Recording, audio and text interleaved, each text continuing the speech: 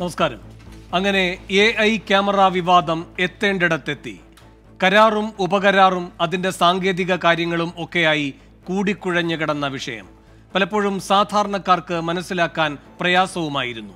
ഇപ്പോഴാണ് എല്ലാവർക്കും മനസ്സിലാകുന്ന കാര്യങ്ങളിലേക്ക് അതെത്തുന്നത്. ആ ചോദ്യങ്ങൾ ഇതാണ്.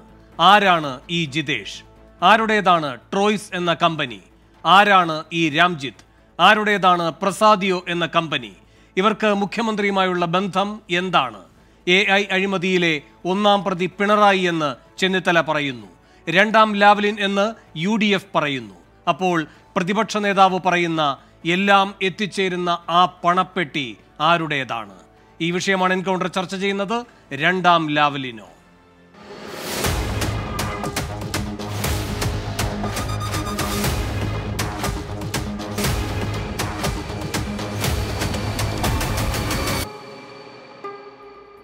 ചർച്ചയിലേക്ക് കടക്കും മുൻപ് ആദ്യം ഒരു പ്രതികരണത്തിലേക്കാണ്. മുൻ പ്രതിപക്ഷ നേതാവ് രമേശ് ചെന്നിത്തല ഇന്ന് അതിശക്തമായാണ് ഈ വിഷയത്തിൽ പ്രതികരിച്ചത്. എ ഐ ക്യാമറ ഇടപാടിൽ അഴിമതിയുണ്ട് എന്നും അതിലൊന്നാം പ്രതി പിണറായി വിജയനാണ് എന്നും ചെന്നിത്തല പ്രതികരിച്ചു. അദ്ദേഹത്തിന്റെ വാക്കുകളിലേക്ക് ആദ്യം. ആരുടെ ആരുടേതാണ് ഈ ട്രോയിസ് എന്ന കമ്പനി? ഈ കമ്പനിയിലെ ഡയറക്ടർ ജിതേഷ് ആരാണ്? സംസ്ഥാനത്തെ വിവിധ പദ്ധതി നടത്തിപ്പിൽ ഒളിഞ്ഞും തെളിഞ്ഞും കർട്ടന് പുറകിൽ പ്രവർത്തിക്കുന്ന ഒരു വ്യക്തിയാണ് ഇത് എന്നാണ് എനിക്ക് മനസ്സിലായത്. ജിതേഷിന് ശിവശങ്കറിന് സർക്കാരിനുള്ളതിനേക്കാൾ വലിയ സ്വാധീനം ഉണ്ട് എന്നുള്ളതാണ്. പ്രസാദിയോ എന്ന് പറയുന്ന കമ്പനി ആരുടേതാണ്? ആരാണ് ഈ രാംജിത്ത്? രാംജിത്ത് മുഖ്യമന്ത്രിയുമായിട്ടുള്ള ബന്ധം എന്താണ് എത്ര തവണയാണ് രാംജിത്ത് ക്ലിഫ് ഹൌസ് സന്ദർശിച്ചിട്ടുള്ളത്? എന്തിനു വേണ്ടിയാണ് ക്ലിഫ് ഹൌസിൽ രാംജിത്ത് സന്ദർശനം നടത്തിയിട്ടുള്ളത്? ഇനി അത് അല്ലെങ്കിൽ പ്രസാദിയോയുടെ പ്രസാദിയോ എന്ന് പറയുന്ന സ്ഥാപനത്തിന്റെ ഓണർ മറ്റാരാണ്? രാംജിത്തിനെ ഇപ്പൊ കാണാനില്ലെന്നാണ്. രാംജിത്ത് എവിടെയാണ്? ഇപ്പം ഈ പ്രസാദിയോ എന്ന് പറയുന്ന കമ്പനിയുടെ വെബ്സൈറ്റിൽ നിന്ന് മുഴുവൻ രേഖകളും പുറത്ത് പോയിരിക്കുന്നു. ആരോപണങ്ങൾ ഉന്നയി- ഉന്നയിക്കപ്പെടുമ്പോൾ വെബ്സൈറ്റ് കാണാതാകുന്നത് കേരളത്തിൽ പുതിയ കാര്യമല്ല. പിണറായി ഗവൺമെന്റ് കാലത്ത് ഈ വെബ്സൈറ്റുകൾ കാണാതാവും. S R I T Presadio Troys E centric Akshara Ashoka U L T S എന്നീ സ്ഥാപനങ്ങളുടെ ഇടപാടുകളെ സംബന്ധിച്ചും കൂട്ടുകച്ചവടത്തെ സംബന്ധിച്ചും സമഗ്രമായ ഒരു അന്വേഷണം നടത്തിയാൽ ഞെട്ടിപ്പിക്കുന്ന വിവരങ്ങൾ പുറത്തു വരുമെന്നാണ് എനിക്ക് മനസ്സിലാക്കാൻ കഴിഞ്ഞിട്ടുള്ളത്. നമ്മുടെ പാവപ്പെട്ട കേരളത്തിലെ ജനങ്ങളെ ഞെക്കിപ്പിഴിഞ്ഞ് കിട്ടുന്ന പണം മുഴുവൻ സ്വന്തക്കാർക്കും ബന്ധുക്കൾക്കും അവർ നടത്തുന്ന കമ്പനികൾക്കും വീതം വെച്ചു കൊടുക്കാൻ കേരളത്തിന്റെ മുഖ്യമന്ത്രിയെ ഞങ്ങൾ അനുവദിക്കുകയില്ല എന്ന് തന്നെയാണ് എനിക്ക് പറയാനുള്ളത്. ഈ മുഴുവൻ കേസിലും ഒന്നാമത്തെ പ്രതി കേരളത്തിന്റെ മുഖ്യമന്ത്രി തന്നെയാണ്. രമേശ് ചന്ദ്രയുടെ പ്രതികരണമാണ് കണ്ടത്. രണ്ടാം ലാവലിനോ എന്ന എൻകൗണ്ടറിന്റെ ചോദ്യത്തോട് പ്രതികരിക്കാൻ സി പി ഐ എമ്മിൽ നിന്ന് എം പ്രകാശൻ മാസ്റ്റർ മുൻ director general of prosecution T Asaf Ali രാഷ്ട്രീയ നിരീക്ഷകൻ സി ആർ നീലകണ്ഠൻ എന്നിവർ തത്സമയം ചേരുന്നു. ആദ്യം ശ്രീ എം പ്രകാശൻ മാസ്റ്റർ ഗുരുതരമായ ആരോപണം. അത് മുഖ്യമന്ത്രിയെ തന്നെ പ്രതിക്കൂട്ടിൽ നിർത്തിക്കൊണ്ട് രമേശ് ചെന്നിത്തലയും വി ഡി സതീശനും ഇന്ന് ഉന്നയിച്ചിരിക്കുകയാണ് എന്താണ് പ്രതികരണം?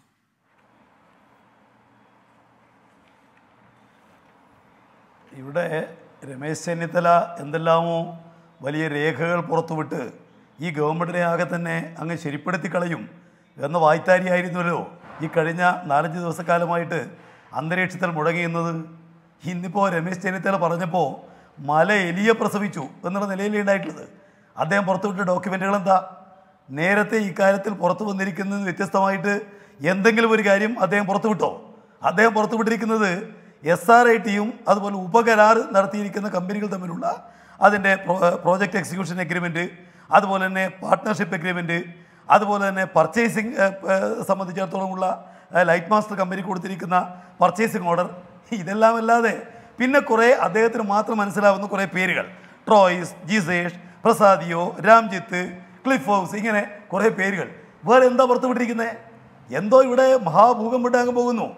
രമേശ് ചരിത്ര ആദ്യം പറഞ്ഞതാണ് നിങ്ങൾക്ക് കൃത്യമായിട്ട് അറിയാലോ? അദ്ദേഹം പറഞ്ഞത് ഇവിടെ ടെൻഡർ ഉണ്ടായിട്ടില്ല. ഒരു ക്യാമറക്ക് മുപ്പത് ലക്ഷം രൂപ ചെലവഴിച്ചിരിക്കുന്നു.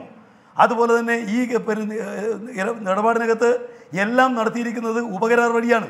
ഇതെല്ലാമാണല്ലോ അദ്ദേഹം പറഞ്ഞു വന്നിരുന്നത്. എന്നാൽ ഇതുവരെ വന്നിരിക്കുന്ന കാര്യങ്ങൾ വ്യക്തമായിരിക്കുന്ന കാര്യം എന്താ? ഇതുവരെ വന്നിരിക്കുന്ന വ്യക്തമായിരിക്കുന്ന ഒരു കാര്യം ഈ കാര്യത്തിൽ ഒരു നിലയിലുമുള്ള അന്യായം ഉണ്ടായിട്ടുണ്ടെന്ന് പറയാൻ വേണ്ടി കഴിയില്ല.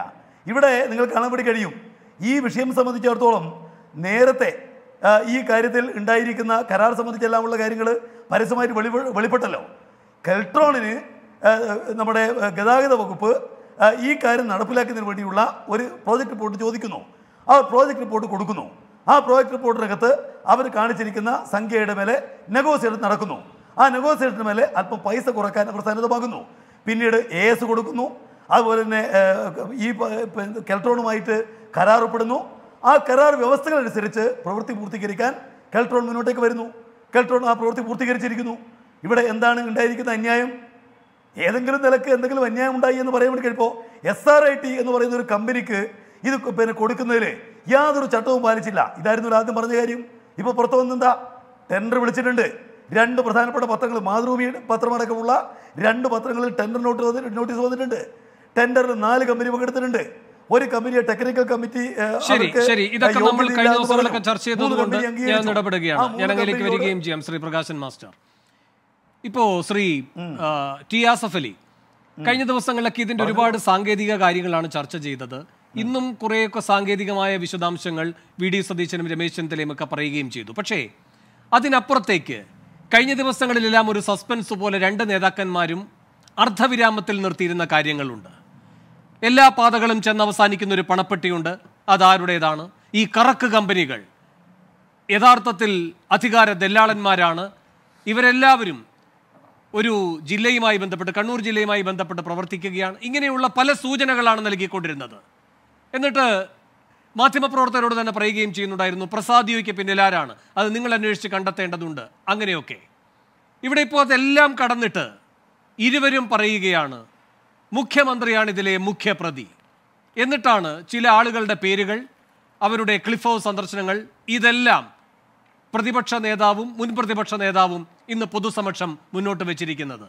ഇതിൽ നിന്ന് കേരള സമൂഹം എന്താണ് മനസ്സിലാക്കേണ്ടത്? ഇവരൊക്കെ ആരാണ്? ഇവരുമായി മുഖ്യമന്ത്രിക്ക് എന്തു ബന്ധം? എന്ന സംശയം എല്ലാവരുടെയും മനസ്സിലേക്ക് ഇരു നേതാക്കളും ഇട്ടുകൊടുക്കുമ്പോൾ എന്താണ് കേരളം ഇതിൽ നിന്ന് ബോധ്യപ്പെടേണ്ടത്? എന്താണ് മനസ്സിലാക്കേണ്ടത്?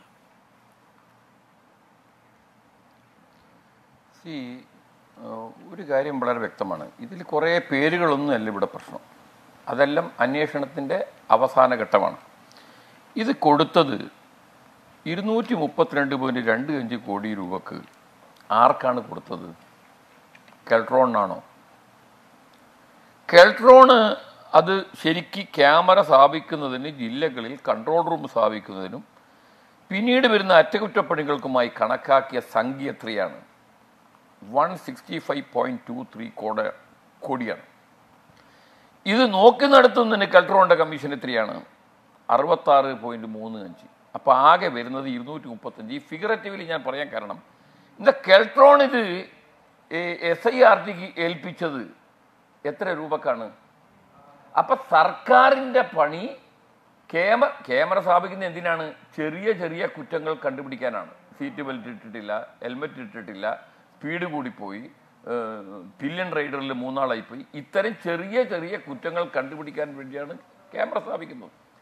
ഈ ക്യാമറ സ്ഥാപിക്കുന്നതിന്റെ പേരിൽ നടന്നിരിക്കുന്ന വൻ അഴിമതി അഴിമതി എന്ന് ഞാൻ പറയാൻ കാരണം അഴിമതി നിരോധന വകുപ്പ് മാത്രം വായിച്ചു നോക്കിയാൽ എന്തെങ്കിലും പ്രവൃത്തി ഒരു അൺഡ്യൂ എൻറിച്ച്മെന്റ് തനിക്കോ വേറെ ആൾക്കോ ഉണ്ടെങ്കിൽ അത് നാല് കൊല്ലം ശിക്ഷ നൽകുന്നത് കുറ്റമാണ്.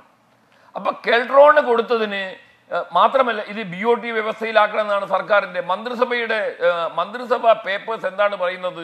ഈ ബി ഒ ടി അടിസ്ഥാനത്തിൽ തുടങ്ങിയ പദ്ധതി സർക്കാർ പണം നൽകുന്നു. അതെങ്ങനെയാണ് പിന്നെ അഞ്ഞൂറ്റി മാതൃകയിലാക്കി മാറ്റുന്നത്? അത് ധനകവും പറയോ? അറിയില്ല. അപ്പൊ ധനവകുപ്പിന്റെ ഒരു അനുമതി ഇല്ലാതെ ബി ഒ ടി പോയി. സർക്കാരിന് നഷ്ടമുണ്ടായോ? അപ്പൊ മാത്രമല്ല ഈ എസ് ആർ ഐ ടി എന്ന് പറഞ്ഞ അവർ ചെയ്തോ? അവർ പിന്നെയും ഉപ ഉപകരാറ് കൊടുക്കുകയാണ്. ഉപകരാറ് കൊടുത്ത് പൈസ കുറഞ്ഞ കുറഞ്ഞ പൈസക്ക് ക്യാമറ സ്ഥാപിക്കപ്പെടുന്ന സ്ഥിതി വരുമ്പോൾ സർക്കാരിന്റെ പൊതുഖജനാവിൽ നിന്ന് ചെലവാകുന്ന പൈസ എത്രയാണ്? ആ പൈസക്ക് ഈ ഈ ക്യാമറ സ്ഥാപിക്കൽ നടക്കേണ്ടതില്ല. ക്യാമറ സ്ഥാപിക്കാൻ ഇന്ന് മുൻ പ്രതിപക്ഷ നേതാവ് പറഞ്ഞ വർത്താനം നോക്കിയാൽ അതിന്റെ സ്പെസിഫിക്കേഷൻ നോക്കിയാൽ ക്യാമറ സ്ഥാപിക്കാൻ എഴുപത്തഞ്ചായിരം അല്ലെ ഒരു ലക്ഷം? ഇവിടെ എത്രയാണ് ചെലവഴിച്ചിരിക്കുന്നത്? പ്രതിപക്ഷ നേതാവ് വി. ഡി. സതീശൻ ഇത് ഒരു രണ്ടാം ലാവലിംഗ് കേസാണെന്ന് പറയാൻ കാരണം എന്താണ്? ലാവലിംഗ് കേസിൽ ഹൈഡ്രോ ഇലക്ട്രിക് മൂന്ന് ഹൈഡ്രോ ഇലക്ട്രിക് പ്രൊഡക്ട്സിന്റെ റിനോവേഷന് വേണ്ടി മാത്രം one point two six crore ആണ് ഇതിന്റെ മെഗവാട്ട് റേറ്റ് ഒരു ഹൈഡ്രോ ഇലക്ട്രിക് പ്രൊജക്ട് സ്ഥാപിക്കുന്നതിന്റെ വൺ തേർഡ് ആണ്. കുറ്റ്യാടി ആ- വിഷയത്തിലേക്ക് ഞാൻ കിടക്കുന്നില്ല. അപ്പൊ ഈ റേറ്റ് കൂടി സർക്കാരിന്റെ പൊതുഖജനാവിന് നഷ്ടമുണ്ടാക്കി എന്നുള്ളത് വെറും വായിക്കുമ്പോൾ നമുക്ക് മനസ്സിലാവുന്നു. കെൽട്രോൺ ഏൽപ്പിച്ചത് കെൽട്രോൺ വേറെ കൊടുക്കുന്നു എസ് ആർ റേറ്റിംഗ് കൊടുക്കുന്നു. അവർ വേറെ രണ്ട് കമ്പനി ആ കമ്പനിയിൽപ്പെട്ട ആളുകൾ അത് that is a matter of investigation എനിക്ക് ഏറ്റവും വിചിത്രമായി തോന്നിയത് ഇന്നലെ ബഹുമാനപ്പെട്ട വ്യവസായ നിയമ വകുപ്പ് മന്ത്രിയുടെ പത്രസമ്മേളനമാണ്. ആദ്യം വരുന്ന ആരും വിജിലൻസിന് പരാതി കൊടുത്തില്ല അതുകൊണ്ട് അന്വേഷിക്കേണ്ട ആവശ്യമില്ല. ഗവൺമെന്റ് നഷ്ടമില്ല ഈ പിഴയിൽ കൂടി പണം കിട്ടുന്നുണ്ട്. പിഴയിൽ കൂടി പണം കിട്ടുന്നതുകൊണ്ട് സർക്കാരിന്റെ പണം എങ്ങനെ കൊള്ളയടിക്കാൻ പറ്റും? അതിൽ യാതൊരു തെറ്റുമില്ല. ഇവിടെ ചോദ്യം എന്താണ്? കെൽട്രോണിന് കൊടുത്ത ഒരു സംഗതിയുടെ റേറ്റ് എത്രയാണ്? ശരിക്കും പദ്ധതി നടപ്പിലാക്കുമ്പോൾ ശരിക്കും നടപ്പിലാക്കുന്ന ആ എക്സിക്യൂട്ടിംഗ് സ്റ്റേജിൽ ഉണ്ടാവുന്ന പണം എത്രയാണ്? ആ പണത്തിന് നടക്കേണ്ട സംഗതിയാണ് കെൽട്രോൺ കമ്മീഷൻ വാങ്ങി എന്ന് പറഞ്ഞാൽ കെൽട്രോൺ മാത്രം കമ്മീഷൻ വാങ്ങാൻ പറ്റുമോ? ഭരണത്തിന്റെ എല്ലാ ക്രെഡിറ്റും എടുക്കുന്നത് ആരാണ്? മന്ത്രിയാണ് മുഖ്യമന്ത്രിയാണ്. അപ്പൊ ഈ തടന്ന് ഈ നടന്നിരിക്കുന്ന ക്രമക്കേട് മുഖാനം പൊതുഖജനാവിനുണ്ടായേക്കാവുന്ന നഷ്ടം അതാണ് പ്രിവെൻഷൻ ഓഫ് കറപ്ഷൻ ആക്ട് അനുസരിച്ചിട്ടുള്ള undue enrichment for himself for any other person അത് അഴിമതിയാണ്. ശരി. അതൊരു അഴിമതി നിരോധന വിജിൽ ശരി. വിജിലൻസിന്റെ ആന്റി കറപ്ഷന് പരാതി കൊടുത്തു. അവർ പരാതിയല്ല അന്വേഷിക്കുന്നത്. ശരി ശരി. ഇപ്പോൾ അങ്ങ് മൂന്നിയിരിക്കുന്നത് ഈ കഴിഞ്ഞ ദിവസങ്ങളിലൊക്കെ ചർച്ച ചെയ്തു വന്ന ഈ അധികരിച്ച തുക അത് ഏതൊക്കെ പോക്കറ്റുകളിലേക്ക് പോയി? ഇതിൽ കരാർ നേടിയവരുടെ അയോഗ്യത കരാർ നേടിയവർ ഉപകരാറുകൾ കൊടുക്കുന്നതിലെ അയോഗ്യത ഈ കാര്യങ്ങളൊക്കെയാണ് നമുക്ക് അതിലേക്ക് വരികയും ചെയ്യാം. ശ്രീ സി ആർ നീലകണ്ഠൻ ഈ ഭാഗങ്ങളൊക്കെ നാം ചർച്ച ചെയ്തതാണ്. എന്നാലും അതിൽ കൂടുതൽ വ്യക്തത വരേണ്ട വിഷയങ്ങളുമാണ്. എങ്കിലും ഇന്നിപ്പോൾ പരമപ്രധാനമായി ഉയർന്നു വന്നിരിക്കുന്ന രണ്ട് വ്യക്തികളുണ്ട്. ഈ പറഞ്ഞതുപോലെ ജിതേഷും രാംജത്തും. അവരെ രണ്ടുപേരെയും പറ്റി മുൻ പ്രതിപക്ഷ നേതാവ് കുറേ കാര്യങ്ങൾ അന്വേഷിക്കുകയുണ്ടായിട്ടുണ്ട്. അപ്പോൾ ഈ വാർത്ത പിന്തുടരുന്ന ഒരു വ്യക്തി എന്ന നിലയിൽ താങ്കൾ ഇതിന്റെ വിശദാംശങ്ങൾ പരിശോധിക്കുകയുണ്ടായിട്ടുണ്ടോ? ഇപ്പോൾ അൺഡ്യൂ ആയിട്ടുള്ള എൻറിച്ച്മെന്റ് കിട്ടി എന്ന് അഡ്വക്കേറ്റ് ആസഫ് അലി സമർത്ഥിക്കുന്നുണ്ടായിരുന്നല്ലോ. അതിലൊക്കെ പ്രധാന റോളുകാരാണ് ഈ വ്യക്തികളും. ഇപ്പോൾ ഈ ജിതേഷിനെ പറ്റി പറയുന്ന കാര്യമുണ്ടല്ലോ. ജിതേഷിന്റെ ട്രോയ്സ് എന്ന് പറയുന്ന കമ്പനിയാണ് ഇവർക്ക് ടെക്നിക്കലായിട്ടുള്ള രൂപത്തിൽ എനേബിൾ ചെയ്യാം എന്ന് പറഞ്ഞ് കെൽട്രോണിന് വാഗ്ദാനം നൽകുന്നത്. ജിതേഷ് ഒരു വ്യത്യസ്ത എന്റിറ്റി ഒന്നുമല്ല. ഈ പറയുന്ന എസ് ആർ ഐ ടി ഈ ഊരാളുങ്കൽ ഇതുമായി എല്ലാം ബന്ധപ്പെട്ടിരിക്കുന്ന ഒരു ഡയറക്ടർ കൂടിയാണ്. അപ്പോൾ അതുമായി ബന്ധപ്പെട്ട് ഈ ജിതേഷിന്റെ റോൾ എന്ത്? അതുപോലെ തന്നെ ഈ രാംജത്ത് എന്ന് പറയുന്ന വ്യക്തി. രാംജത്ത് എന്ന് പറയുന്ന വ്യക്തി പ്രസാദിയോയുമായി ബന്ധപ്പെട്ട് നിൽക്കുന്നു. പ്രസാദിയോയ്ക്ക് ഇതിൽ ഒരു പൈസ പോലും മുടക്കാതെ അറുപത് ശതമാനം ലാഭം കിട്ടുന്നു. ആ ഒരു ഉപകരാർ അവർ ഉണ്ടാക്കുന്നു ഒരു കൺസോർഷ്യം രൂപപ്പെടുത്തിക്കൊണ്ട്. അപ്പോൾ ഇതിലൂടെയൊക്കെ വരുന്ന ഈ ഇടപെടലുകൾ അതിലൂടെ വരുന്ന ധനസമാഹരണം ഇത് ഈ രണ്ട് വ്യക്തികൾക്ക് എങ്ങനെ സാധ്യമാകുന്നു? അല്ല ഇവിടെ വളരെ കൃത്യമാണ്. വളരെ കൃത്യമാണെന്ന് പറഞ്ഞാൽ ഞാൻ ഇപ്പോൾ നേരത്തെ ആസിഫ് അലി പറഞ്ഞതിന്റെ ഞാൻ വളരെ ലളിതമായി വേണുവിനോടൊരു കാര്യം പറയാം. വേണു ഒരു വീട് നിർമ്മിക്കാൻ തീരുമാനിക്കുന്നു ഒരു കോടി രൂപയ്ക്ക്. ഞാൻ ആ കരാർ എടുക്കുന്നു ഞാനും വേണു തമ്മിൽ കരാർ വയ്ക്കുന്നു. ഞാനത് ആസിഫ് അലിക്ക് അമ്പത് ലക്ഷം രൂപയ്ക്ക് ആ വീടിന്റെ മുഴുവൻ പണി ഏൽപ്പിക്കുന്നു. ഞാൻ ഒരു പക്ഷേ അതിന്റെ ഒരു മേൽനോട്ടം ഉണ്ടാവും. ഇതറിഞ്ഞാൽ വേണുവിന് വിഷമം ഉണ്ടാവുമോ സന്തോഷം ഉണ്ടാവുമോ കാരണം ആ വീട് മുഴുവൻ നിർമ്മിക്കാനുള്ള ചുമതല ആസിഫ് അലിക്ക് കൊടുക്കുമ്പോൾ അമ്പത് ലക്ഷം രൂപയുടെ സാധനം അതിലുള്ളൂ എന്നും സർവീസ് ചെയ്തിലുള്ളൂ എന്നും വേണുവിന് മനസ്സിലാവും. അപ്പോൾ വേണു പറയും അയ്യോ സി ആർ ഇങ്ങനെ എടുക്കാൻ പറ്റില്ല. നിങ്ങൾ അമ്പത് ലക്ഷം ഒന്നും എടുക്കാം നിങ്ങളൊരു പത്ത് ലക്ഷം എടുത്തോ അതിന്റെ സൂപ്പർവിഷന് ഇവിടെ ചോദ്യം എന്താ? ഓരോ കമ്പനിയും എന്ത് റോൾ എടുക്കുന്നു? കെൽട്രോണിന്റെ ഇതിലൊരു ഞാനൊരു എഞ്ചിനീയർ എന്നുള്ള നിലയ്ക്ക് പറയുകയാണ്. ഇതിന്റെ സ്കോപ്പ് ഓഫ് വർക്ക് ഓരോരുത്തരുടെയും ഡിഫൈൻ ചെയ്യണം. കെൽട്രോൺ എന്ത് സേവനം നൽകുന്നു? എന്ത് സാധനം സപ്ലൈ ചെയ്യുന്നു? അല്ലെങ്കിൽ എസ് ആർ ഐ ടി എന്ത് സേവനം നൽകുന്നു? എന്ത് സാധനം സപ്ലൈ ചെയ്യുന്നു? അതിന്റെ വില എന്താണ്? അല്ലെങ്കിൽ ഇപ്പോൾ നേരത്തെ പറഞ്ഞ ഈ പ്രസാഡിയോ എന്ത് സാധനം നൽകുന്നു? അതിന്റെ വില എന്താണ്? ഇത് പബ്ലിക്കായി അറിയാൻ നമുക്ക് താല്പര്യമുണ്ട്. കാരണം നമ്മുടെ നാട്ടിൽ ഇപ്പോൾ ഒരു പാലം പണിയാണെങ്കിലും അതിൽ എത്ര സിമെന്റ് ഉണ്ട് എത്ര കമ്പി ഉണ്ട് എന്തുണ്ടെന്ന് പബ്ലിഷ് ചെയ്യണം എന്നുള്ളത് ജനകീയാസൂത്രണ മുതൽ ഇങ്ങോട്ടുള്ള നിയമമാണ് ഞാൻ ഗവൺമെന്റിനോട് പറയുന്നത് ഇത് ഓരോരുത്തരുടെയും സേവനം ഇത്ര അതിന്റെ തുക ഇത്ര ഇതിന്റെ ബിൽ ഓഫ് മെറ്റീരിയൽ ഇത്ര അതിന് ഇത്ര പൈസ. അങ്ങനെ ഇട്ടാൽ അപ്പോൾ നമുക്കൊരു കാര്യം മനസ്സിലായത് എന്താ?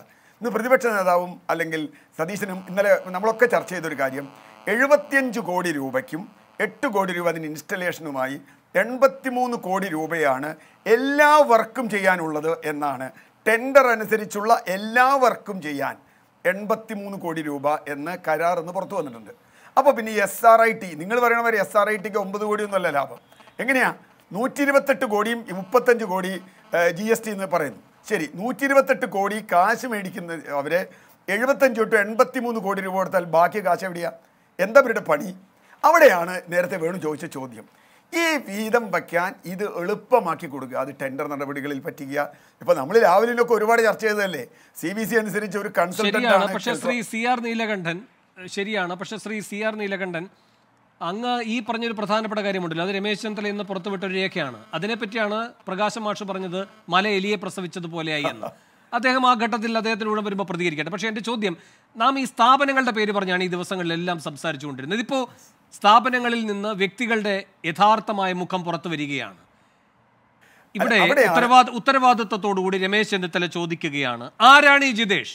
അത് വെറുമൊരു ചോദ്യമല്ല. നമ്മുടെ പണം ഈ പറയുന്ന എ ക്യാമറ വഴി മാത്രമല്ല ഈ വ്യക്തി തട്ടിയെടുത്തിട്ടുള്ളത്. ഇദ്ദേഹം പറയുകയാണ് രമേശ് ചെന്നിത്തല പറയുകയാണ് ഈ കരാറിൽ സാങ്കേതിക സഹായം നൽകുമെന്ന് എസ് ആർ ഐ ടി അവകാശപ്പെടുന്ന ജിതേഷ് ട്രോയ്സിന്റെ ഡയറക്ടറാണ്. കെ ഫോൺ പദ്ധതിയിലെ നടത്തിപ്പുകാരിൽ ഒരാളാണ്. Keltron S R I T service എഗ്രിമെന്റിലെ സാക്ഷിയാണ്. സംസ്ഥാനത്തെ വിവിധ പദ്ധതികളിലെ നടത്തിപ്പിലെ ഒളിഞ്ഞും തെളിഞ്ഞുമുള്ള പങ്കാളിയാണ്. ആരാണ് ഈ ജിതേഷ്? എന്താണ് ഇയാൾക്ക് ഭരണത്തിലുള്ള സ്വാധീനം? ഞാൻ മനസ്സിലാക്കിയെടുത്തോളം ജിതേഷിന് ശിവശങ്കറിന് സർക്കാരിൽ ഉണ്ടായിരുന്നതിനേക്കാൾ സ്വാധീനമുണ്ട്. ഇയാളുടെ കമ്പനികളെക്കുറിച്ചും ആ കമ്പനികൾക്ക് ലഭിച്ച ടെൻഡറുകളെക്കുറിച്ചും അടിയന്തരമായ അന്വേഷണം നടത്തണം. ഓരോ മലയാളിയും മുഖ്യമന്ത്രിയോട് ചോദിക്കേണ്ട ഒരു ചോദ്യമായി ഇത് മാറുകയാണ്. ആരാണ് ഈ ജിതേഷ്? അയാൾക്ക് എങ്ങനെയാണ് എല്ലാ പദ്ധതികളും കിട്ടുന്നത്? അയാൾ എങ്ങനെയാണ് ഒരു പങ്കുവച്ചവടക്കാരനാകുന്നത് ഈ അവതാരങ്ങളെ സൂക്ഷിക്കണമെന്ന് കേരള സമൂഹത്തെ ബോധ്യപ്പെടുത്തിയ ഓരോ ഫയലും ഓരോ ജീവനാണ് എന്ന് എല്ലാവിധ ഈ സർക്കാർ സംവിധാനത്തിലും പ്രവർത്തിക്കുന്നവരെ ജാഗ്രതപ്പെടുത്തിയ വ്യക്തിയോട് ഇന്ന് ചോദിക്കേണ്ടി വരുന്നൊരു ചോദ്യമാണ്. രമേശ് ചെന്നിത്തല ചോദിച്ചിരിക്കുകയാണ്. ആരാണ് ജിതേഷ്? Shri C R.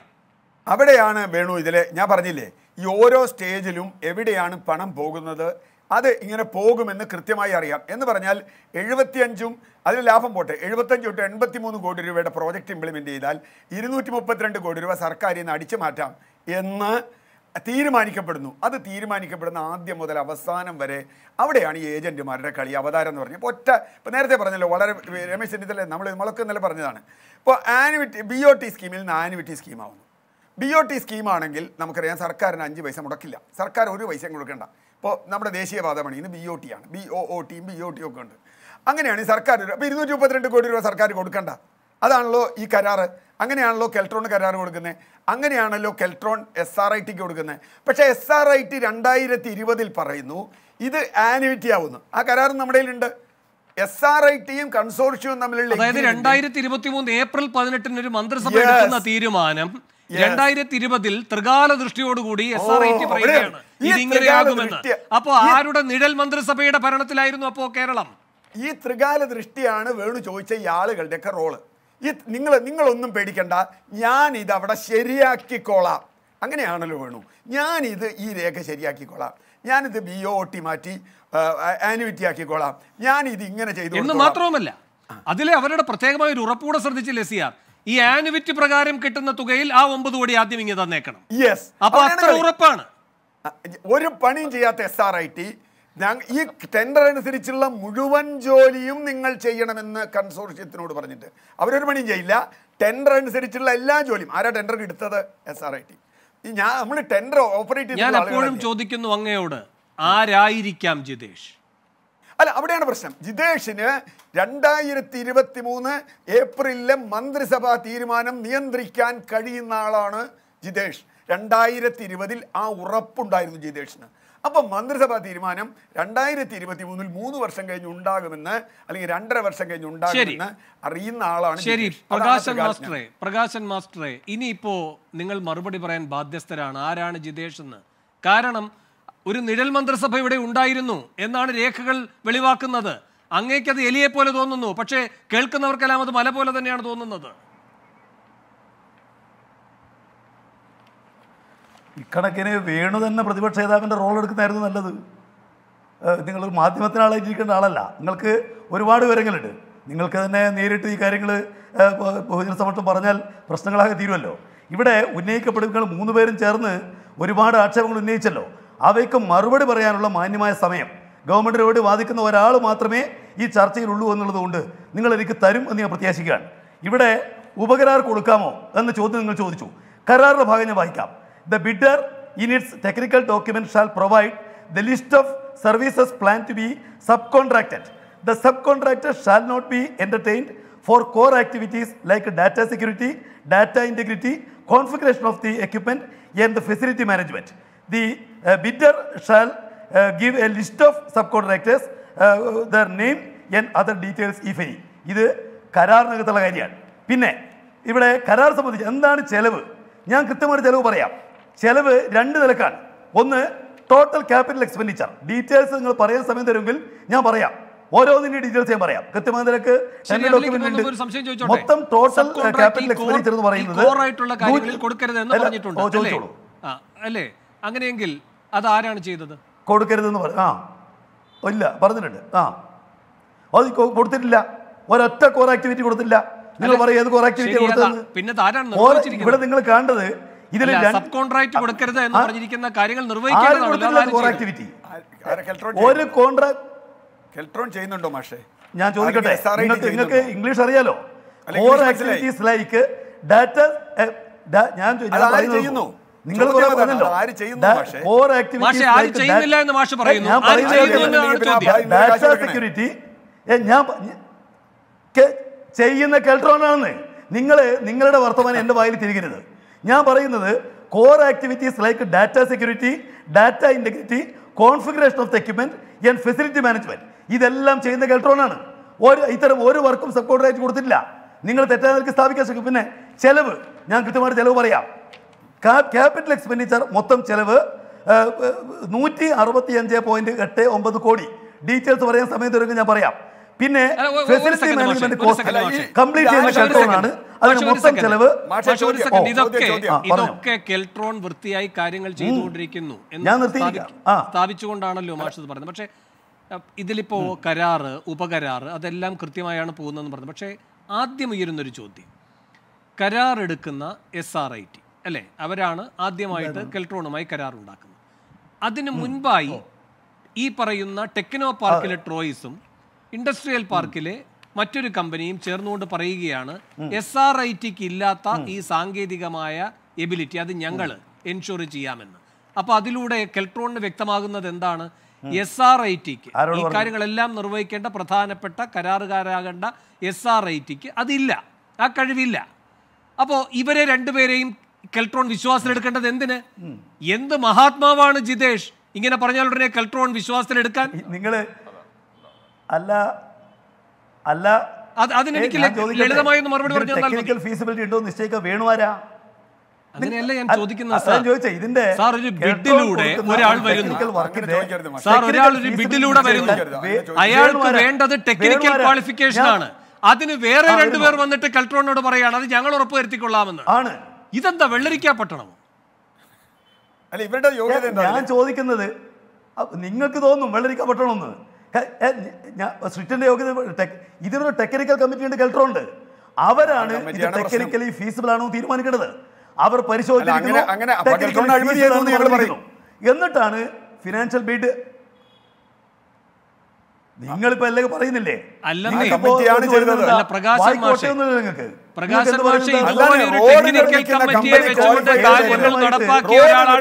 കമ്പനിയാണ് അശോക. അല്ല, ഒരു സെക്കൻഡ് ഒരു സെക്കൻഡ് qualified ഒരു സെക്കൻഡ് സിയാ, ഒരു second അവരുടെ വെബ്സൈറ്റ് നോക്കൂ. ഒരു സെക്കൻഡ് വരെ ഒരു ക്യാമറ സ്ഥാപിച്ച ഒരു സെക്കൻഡ് ഒരു സിയാ.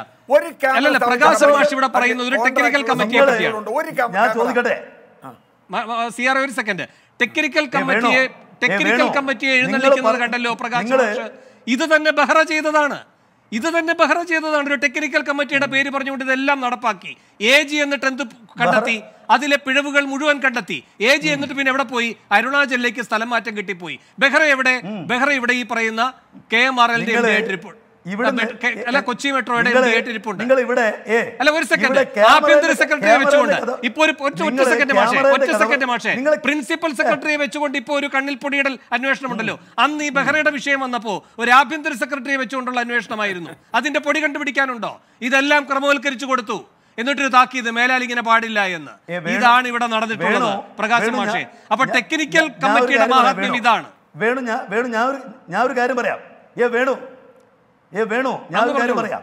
ഞാൻ പറയുന്ന ഓരോന്നിനും മറുപടി പറയുന്നതിന് നിങ്ങൾക്ക് ആവശ്യമുണ്ടാവും. പക്ഷെ ഞാൻ പറയുന്നത് നിങ്ങൾ മൂന്ന് പേരും ഉന്നയിച്ച പ്രശ്നങ്ങൾക്ക് എനിക്ക് മറുപടി പറയാൻ സമയമുണ്ടോ? തരുമോ നിങ്ങൾ ഓരോന്നിനും പേരെ പുതിയ പുതിയ ചോദ്യം ചോദിക്കണ്ട. നിങ്ങൾ ഈ കാര്യങ്ങളെ പറഞ്ഞ് നിങ്ങൾക്ക് മനസ്സിലാവില്ലല്ലോ. നാട്ടുകാർക്ക് വേണ്ടിയല്ലേ? എങ്കിൽ നാട്ടുകാർക്ക് വേണ്ടി ഇക്കാര്യം പറയാൻ എന്നെ അനുവദിക്കണം. നിങ്ങൾ ചോദിച്ചത് ഇതിൽ ഉപകരാർ കൊടുക്കാൻ വ്യവസ്ഥയുണ്ടോ? വ്യവസ്ഥയുണ്ട്. കോർ ആക്ടിവിറ്റീസ് കൊടുക്കാൻ പാടില്ല എന്നുള്ള വ്യവസ്ഥയുണ്ട്. ഒരു കോർ ആക്ടിവിറ്റിയും കൊടുത്തിട്ടില്ല. ചിലവെന്താണ് നിങ്ങൾ ചോദിച്ചു. ഞാൻ പറഞ്ഞു ഇതിന് രണ്ട് തരം ചെലവുണ്ട്. ഒന്ന് ക്യാപിറ്റൽ എക്സ്പെൻഡിച്ചർ ആണ്. രണ്ടാമത്തത് ഫെസിലിറ്റി മാനേജ്മെന്റ് എക്സ്പെൻഡിച്ചർ ആണ്. ഫെസിലിറ്റി മാനേജ്മെന്റിന്റെ കാര്യം മറ്റാർക്കും കൊടുത്തിട്ടില്ല. ഈ പറയുന്ന അറുപത്തി ആറ് പോയിന്റ് മൂന്ന് അഞ്ച് കോടിയുടെ പണി പൂർണമായിട്ട് കെൽട്രോണിനെ ചെയ്യുക. ഒരു വർക്കും അവരാർക്കും കൊടുത്തിട്ടില്ല. പിന്നെ നിങ്ങൾ ക്യാമറയെ പറ്റി പറഞ്ഞല്ലോ. ഇവിടെ പിന്നെ രമേശ് ചെന്നിത്തല പറഞ്ഞത്രേ എഴുപത്തി അയ്യായിരം രൂപയ്ക്ക് ക്യാമറ കിട്ടും. ഏത് ക്യാമറ? അതേ വീട്ടിൽ ഈ സാറിന് ഫോട്ടോ എടുക്കുന്ന ക്യാമറയെ കുറിച്ചാണ് പറയുന്നത്. ഈ ക്യാമറ അതല്ല എന്ന് നിങ്ങൾ മനസ്സിലാക്കണം. എന്താ ഈ ക്യാമറയുടെ പ്രത്യേകത? സമയം നിങ്ങൾ തരുമെങ്കിൽ ഞാൻ പറയാം. ആർട്ടിഫിഷ്യൽ ഇന്റലിജൻസ് ക്യാമറ എന്ന് പറഞ്ഞാൽ അത് ഗ്ലോബൽ ഷട്ടറുള്ള ക്യാമറയാണ്.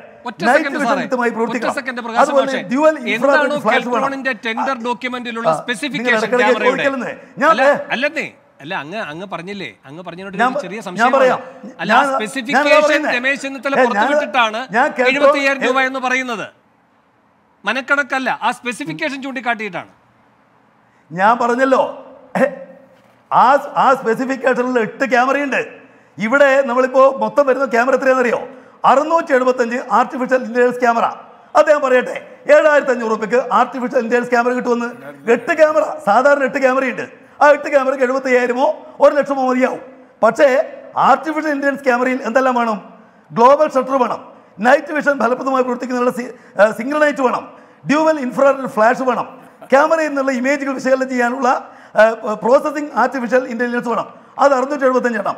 പിന്നെ അല്ല, night നേരത്തെ light ഇങ്ങനെയല്ല. violation detection നേരത്തെ camera, കണക്കിനല്ല. പതിനെട്ട് 726 ക്യാമറ. അതിനാവശ്യമുള്ള അല്ല, ഒരു സെക്കൻഡ് സാർ ആ, എഴുന്നൂറ്റി ഇരുപത്തി ആറ് ക്യാമറയും ഒരേ രൂപത്തിലുള്ള ക്യാമറ. ഇങ്ങനെയായിരുന്നല്ലോ ഒമ്പതര ലക്ഷത്തിന്റെ കണക്കുമായി കൽട്രോൺ എം ഡി വന്നത്. ഇപ്പൊ എട്ട് ക്യാമറ എഴുപത്തി നിങ്ങൾ രൂപയ്ക്ക് കിട്ടും. അല്ല ചെന്നിത്തലയുമായി പേശിയപ്പോ ഒരു എഴുപത്തി അയ്യായിരം രൂപയ്ക്ക് എട്ട് ക്യാമറയുടെ കണക്ക് വായിക്കുന്നത് വേണു. നിങ്ങൾ വേണു. നിങ്ങൾ പറയുന്ന കാര്യം ജനങ്ങൾ ജനങ്ങളെ തെറ്റിദ്ധരിപ്പിക്കുമ്പോൾ സത്യം അവർ കേൾക്കട്ടെ നിങ്ങൾക്ക് എന്തിനാ ബേജാറ്? ഞാൻ പറയുന്നത് നിങ്ങൾ മിണ്ടാണ്ടിരിക്കേ. ഞാൻ പറയുന്നത് അറുപത്തഞ്ച് എഴുപത്തഞ്ച് ക്യാമറ ആർട്ടിഫിഷ്യൽ ഇന്റലിജൻസ് ക്യാമറയാണ്.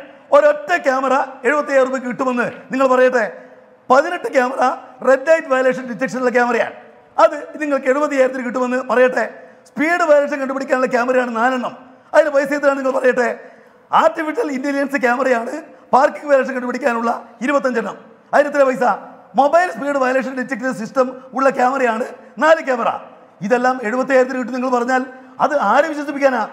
നിങ്ങൾ അതിൽ ഏറ്റവും കുറഞ്ഞ സാധാരണ ക്യാമറയുണ്ട്. എട്ട് ക്യാമറ. ആ എട്ട് ക്യാമറ കിട്ടുമായിരിക്കും. പിന്നെ ഇത് ക്യാമറയ്ക്ക് വേണ്ടിയുള്ള സംഖ്യയല്ല. ഈ സംഖ്യ ഞാൻ പറഞ്ഞല്ലോ ഡീറ്റെയിൽസ് പറയാൻ സമ്മതിക്കുമെങ്കിൽ ഞാൻ പറയാം. ഓരോന്നിനും ഇനി കൃത്യമായ ഡീറ്റെയിൽസ് എന്റെ എടുക്കുന്നുണ്ട്. അത് ഇവരുടെ ടെൻഡർ ഡോക്യുമെന്റ് ആണ്. നിങ്ങൾക്ക് ഞങ്ങൾ അറിയിക്കാൻ ഉത്തരവാദിത്വം ഉണ്ടാവില്ല. കാരണം നിങ്ങൾക്ക് സ്ഥാപിക്കേണ്ടത് എന്താ? അഴിമതിയുണ്ട്. ഇനിയാണ് ഈ ജിതേഷ് ആര് എന്ന ചോദ്യം നിൽക്കുന്നത്. നമുക്കിനി പ്രസാദിയുടെ രാംജിത്തിനെ പറ്റി അന്വേഷിക്കാനുണ്ട്. മറ്റൊരു ഉടമസ്ഥനുണ്ടോ എന്ന് അന്വേഷിക്കാനുണ്ട് മറുപടി പറയുകയും വേണം. ജിതേഷ് പറഞ്ഞ ആര്? ചോദിക്കണം. പ- പറഞ്ഞ ആളോട് ചോദിക്കണം പറഞ്ഞയാളല്ലെന്നേ കുറ്റക്കാരൻ. അത്. ശരി. പറഞ്ഞയാളായോ പ്രതി പറഞ്ഞയാളായോ പ്രതി ഇത് പിന്നെന്താ? ഏ ഞാൻ ചോദിക്കട്ടെ. ഈ കരാറിൽ എവിടെയാണ് ജിതേഷ്? നിങ്ങൾ എസ് ആർ ഐ ടിയുമായിട്ട് കരാറപ്പെടുന്നത് കെൽട്രോൺ ആണ് ഒരു ഉപകരണം കെൽട്രോൺ ആയിട്ട് ചർച്ച ചെയ്യുന്നതല്ല ഗവൺമെന്റ് കെൽട്രോണുമായിട്ട് ഒപ്പിടുന്നു. ആയിക്കോട്ടെ? എസ് ആർ ഐ ടീം അതുകൊണ്ട് നിങ്ങൾ കുറെ പേര് നിങ്ങൾ കുറെ പേര്? പറഞ്ഞാലൊന്നും ഈ കേരളം കേരളം കേരളം വിറ്റ്നസ് ആയിട്ട്. ജിതേഷ് ആണ് എസ് ആർ ഐ ടിക്ക് സാങ്കേതികമായ കഴിവ് ഉറപ്പുവരുത്താം എന്ന കെൽട്രോണിന് ഉറപ്പ് കൊടുക്കുന്നത്. അപ്പോ കെൽട്രോൺ ആകെ കൂടെ വിശ്വസിക്കുന്നത് ജിതേഷിനെ. അപ്പൊ ആ. മഹാത്മാവ് ആരാണെന്ന് എല്ലാവരും അറിയണ്ടേ. മാത്രവുമല്ല അല്ല ഒരു സെക്കൻഡ് ഒരു സെക്കൻഡ് മാഷെ ഇവിടെ രണ്ടായിരത്തി ഇരുപതിൽ തന്നെ രണ്ടായിരത്തി ഇരുപത്തി മൂന്ന് ഏപ്രിൽ പതിനെട്ടിന് മന്ത്രിസഭ ചേർന്ന് എടുക്കാൻ പോകുന്ന തീരുമാനത്തെ പറ്റി മുൻകൂട്ടി അറിയുന്ന ഈ മഹാത്മാക്കൾ ആരൊക്കെയാണെന്ന് എല്ലാവരും അറിയണ്ടേ? ഈ ബി ഒ ടി എങ്ങനെ ആനുവിറ്റി ആയിരുന്നു പറഞ്ഞാൽ മതി. രണ്ടായിരത്തി ഇരുപതിൽ രണ്ടായിരത്തി ഇരുപതിൽ രണ്ടായിരത്തി ഇരുപതിൽ ഡേറ്റ് വേണമെങ്കിൽ പറയാം. ഈ പദ്ധതിക്ക് എപ്പോഴാണ് ഏസ് കൊടുക്കുന്നത്? ഉത്തരവിന്റെ ഡേറ്റ് ഇരുപത്തേഴ് നാല് രണ്ടായിരത്തി ഇരുപത്.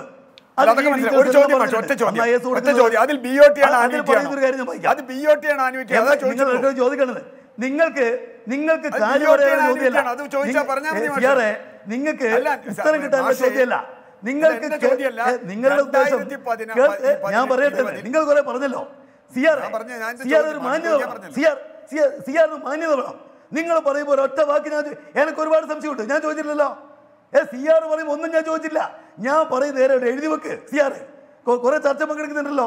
എന്നിട്ട് എന്നോട് ചോദിച്ചോളൂ. ഞാൻ അത് മറുപടി അറിയാം ഇടക്കിടയ്ക്ക് ചോദിക്കും നിങ്ങളാരാ നിങ്ങൾ മാഷം ഞാൻ കുട്ടിയാ? സിയാർ മാഷം ഞാൻ കുട്ടിയൊന്നുമല്ലല്ലോ. നിങ്ങൾ ഒരുപാട് പറഞ്ഞു. ഞാനൊരു അക്ഷരം പറഞ്ഞില്ല. വേട് കുറെ പറഞ്ഞു. ഞാൻ ഒരു അക്ഷരം പറഞ്ഞില്ല. നിങ്ങളെ ചോദ്യം പറയാൻ കിട്ടുന്നു കുട്ടിയൊന്നുമല്ല ഞാൻ. ഞാൻ പങ്കെടുക്കുന്നത് സി പി എമ്മിന് വേണ്ടിയിട്ടാണ്. നിങ്ങൾ ഉന്നയിച്ച എല്ലാ സംശയത്തിനും ഞാൻ കൃത്യമായി മറുപടി അറിയും നിങ്ങൾ ഞാൻ പറയുന്ന കാര്യത്തിലുള്ള പുതിയ സംശയം എഴുതി വെച്ചോ? നിങ്ങൾ എന്നോട് ചോദിച്ചോ? ഞാൻ പറയല്ലോ. ഇടക്കിടയ്ക്ക് ചോദിക്കാൻ നിങ്ങളാരാ നിങ്ങൾ മാഷ് ഞാൻ കുട്ടിയാ. അല്ലല്ലോ? നിങ്ങൾ എന്നോട് ചോദ്യം ചോദിക്കാൻ?